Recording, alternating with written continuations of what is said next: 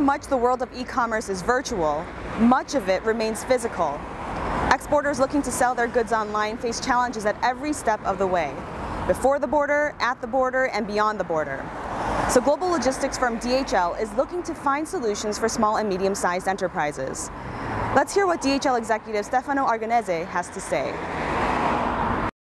By definition, small and medium enterprises are, are, handling small quantity of products on, on their own. The first challenge they face is how do we cooperate among SMEs in a certain countries in order to bundle um, their volumes and their purchasing power, organize themselves in cooperatives where they could bundle their volumes in a way that they don't need to ship two kilos every time, but rather shipping a pallet or a container of goods so that they can share the, the logistic cost and obviously also at destination, if we say for example a trade from Africa to Europe, having in Europe a, a sort of small uh, warehouse or space where they can store that stuff so that when people order online uh, their goods, it can be shipped within 24 hours.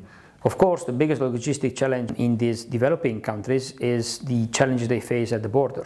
That being uh, complexity with customs, then being different offices that have to be dealt with in order to get all the documentation, all the stamps, and to get the goods exported. From a government perspective, I think the most important thing that one should really put effort in is making this uh, trade facilitation agreement fact. That would facilitate everything which is related to border crossing activities, customs and the like. If we make that process smooth and quick enough, uh, the effect of that is that we basically get more trade and hence more revenue for the governments uh, as well. Another big challenge is the return of goods. So if a customer in Europe, for example, doesn't like certain things that they bought or it doesn't fit size-wise or whatever, they want to return it, which is a common feature that every you know, e-commerce platform would offer in, uh, in Europe.